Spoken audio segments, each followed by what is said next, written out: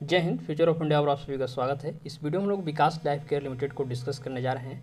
Discussion में क्या बात होगी वो अभी जान लीजिए। अभी ये जानेंगे कि इस कंपनी का जो शेयर प्राइस है, जो लगातार कई दिनों से नीचे की तरफ़ जा रहा है और कितना नीचे जा सकता है। पहली बात तो ये हो गई। दूसरी बात जानेंगे कि अभी इसमें नया अपडेट कौन सा आया है? जो नया अपडेट आया है, वो इस कंपनी के शेयर होल्डिंग पैटर्न्स को लेकर आया है। तो उसके बारे में बात करेंगे, क्योंकि शेयर होल्डिंग पैटर्न्स में कुछ ऐसी चीज़ें हैं जो आपको एज ए शेयर होल्डर्स जानना ज़रूरी है। तभी आप समझ पाएँगे कि उसके बदौलत इस शेयर प्राइस जो नीचे की तरफ़ जा रहा है, क्यों जा रहा है, और भविष्य में इसके फिर ऊपर उठने के भी कोई चांसेज हैं कि नहीं।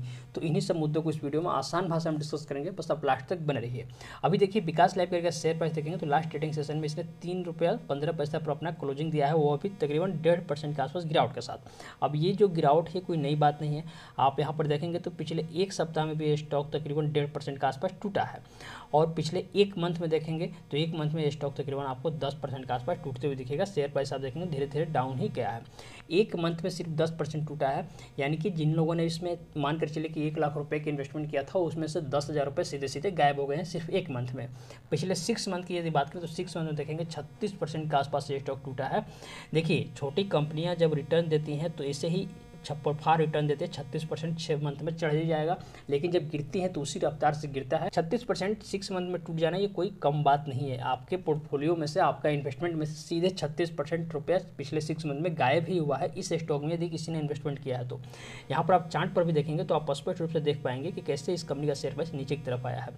इस लेवल को देखिए, यहाँ पर तकरीबन प्राइस इसका पाँच रुपये के आसपास था छः मंथ पहले, और अभी देखेंगे तो अभी प्राइस तकरीबन तीन रुपये के आसपास आ गया, और अभी भी धीरे धीरे नीचे ही जा रहा है। तो अब सवाल यह है कि और कितना नीचे इसका प्राइस जा सकता है ताकि हम अपने कैपिटल को अभी प्रॉफिट की बात छोड़ दीजिए प्रोटेक्ट करने की बात कीजिए कि उसको प्रोटेक्ट कर सके, कैसे प्रोटेक्ट करेंगे अपने कैपिटल को, वो इस वीडियो में आपको बताऊँगा। तो ये रहा विकास लाइफ केयर कंपनी और इसके जो काम है, काम और फंडामेंटल को अभी रहने दीजिए, सीधे टेक्निकल के माध्यम से समझ लेते हैं कि शेयर प्राइस कितना नीचे जाएगा, क्योंकि काम और फंडामेंटल आप सबको पता है। बाद में समय मिलेगा तो मैं इसके बारे में बता दूँगा, लेकिन सीधे पहले टेक्निकल का रुख करते हैं और चार्ट पर देखते हैं कि चार्ट इस कंपनी का क्या कहता है। तो अभी पाँच साल का चार्ट मैंने ओपन किया और पाँच साल के चार्ट में देखेंगे तो इस कंपनी का शेयर प्राइस आप देख पाएँगे कि ये अपने एक इम्पोर्टेंट सपोर्ट लेवल के आसपास है, तकरीबन जो कि ढाई रुपये के आसपास है। अभी तीन रुपये से थोड़ा ऊपर है, लेकिन जैसे जैसे नीचे आ रहा है तो ये आ जाएगा कहाँ तक? ढाई रुपये तक। ढाई रुपये के लेवल को ब्रेक करने के बाद ये आएगा सीधे दो रुपये के आसपास, जो इसका एक और सपोर्ट लेवल है। दो रुपये को ब्रेक करेगा तो सीधे आ जाएगा सत्तर पैसा के आसपास, जो कि ये वाला एरिया है, सत्तर पैसा। और फिर सत्तर पैसा पर आ जाएगा तो सोचिए कि आप तीन रुपये पर अपने स्टॉक को बेचना चाहेंगे या फिर ढाई रुपये पर या फिर दो रुपये पर या फिर सत्तर पैसा पर। ये टोटली आप पर डिपेंड करता है। इस स्टॉक में नया अपडेट क्या है? शेयर होल्डिंग पैटर्न को लेकर उसकी बात करते हैं।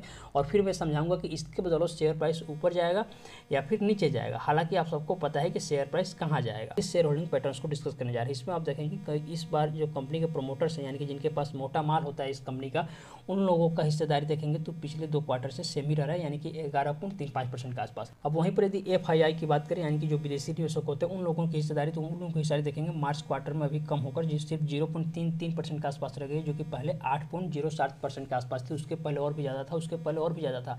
यानी कि अभी देखेंगे तो धीरे धीरे जो विदेशी निवेशक हैं, जो बड़े बड़े इंस्टीट्यूशन हैं, उनकी उनका मोह भंग हो रहा है इस स्टॉक के प्रति। क्यों हो रहा है, आप समझ सकते हैं। अब गवर्नमेंट की हिस्सेदारी तो गवर्नमेंट की हिस्सेदारी तो इसमें कभी थी ही नहीं। आप देख सकते हैं कि लगभग ज़ीरो ज़ीरो कई क्वार्टर से रह रहा है। पब्लिक की बात करते हैं। देखिए पब्लिक बहुत भोली भाली पब्लिक को छोटी कंपनी पसंद है, भले वो डूब जाए बर्बाद हो जाए। यहाँ पर देखेंगे पब्लिक की हिस्सेदारी इसमें कितनी सिर्फ़ अभी बढ़कर अट्ठासी पॉइंट ज़ीरो तीन ज़ीरो परसेंट के आसपास होगी, जो पहले अस्सी परसेंट के आसपास था, उसके पहले अठहत्तर परसेंट उसके पहले चौहत्तर परसेंट, यानी कि पब्लिक इस स्टॉक में, इस स्टॉक की दीवानी होते जा रही है, जबकि स्पष्ट रूप से दिख रहा है कि स्टॉक का शेयर प्राइस लगातार नीचे की तरफ़ जा रहा है। तो अब सवाल है कि जब बड़े बड़े इंस्टीट्यूशन और जो विदेशी निवेशक होते हैं, वो लोग जब अपने हिस्सेदारी से स्टॉक से घटा रहे हैं, उनका मोह इस स्टॉक के प्रति भंग हो गया है तो जो पब्लिक है, बेचारी भोली वाली पब्लिक वो इस स्टॉक इस इस कंपनी में लगातार अपनी हिस्सेदारी क्यों बढ़ा रही है? देखिए सिंपल बात है पब्लिक को छोटी कंपनियाँ पसंद है, छोटी कंपनियों में बेशक तरक्की मिलते हैं, लेकिन सभी कंपनियों में मिल जाए, ऐसा कहना मुश्किल और खासकर जिसका शेयर प्राइस काफ़ी दिनों से नीचे की तरफ़ ही जा रहा है, उसमें ज़्यादा इंतज़ार भी करना ठीक नहीं रहता। पब्लिक को लोग यूट्यूब पर वीडियो देख के पब्लिक दीवानी होती होती जा रही है इस कंपनी के प्रति, लोग बता रहे हैं।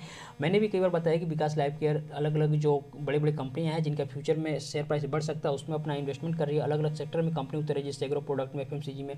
तो देखिए, ये सब ठीक है कंपनी का विस्तार हो रहा है, लेकिन शेयर प्राइस बढ़ने से मतलब क्या? कंपनी का शेयर प्राइस बढ़ रहा है, इसका जवाब नहीं। हमें सिर्फ़ शेयर प्राइस बढ़ने से मतलब शेयर प्राइस नहीं बढ़ रहा है और शेयर प्राइस अभी बढ़ने वाला भी नहीं है, क्योंकि इसमें आपने देखा शेयर होल्डिंग पैटर्स में जो बड़े बड़े इंस्टीट्यूशन हैं, उन्होंने अपनी हिस्सेदारी इस स्टॉक से कम की है। इसलिए इसका शेयर प्राइस अभी तत्काल समय में बढ़ते हुए नज़र नहीं आ रहा है। टोटली आप पर डिपेंड करता है, आप क्या करने वाले हैं? मुझसे कुछ जानना चाहते हैं, व्यक्तिगत रूप से पूछना चाहते हैं तो मुझे कमेंट में पूछ सकते हैं। या व्यक्तिगत रूप से मुझसे जुड़ के बातें करने के लिए आप मुझको इंस्टाग्राम पर फॉलो कर सकते हैं, उसका लिंक इस वीडियो के डिस्क्रिप्शन में मिल जाएगा। यदि बेस्ट डिमिट अकाउंट ओपन कराना चाहते हैं, आप ट्रेडिंग या इन्वेस्टमेंट करने के लिए तो मैं आपको रिकमेंड करूँगा, आप एंजल वन एम स्टॉक के साथ अपना फ्री डिमिट अकाउंट ओपन करा सकते हैं। उसका लिंक इस वीडियो को डिस्क्रिप्शन में मिल जाएगा। मिलते हैं अगले वीडियो में तो अगले धन्यवाद, शुक्रिया।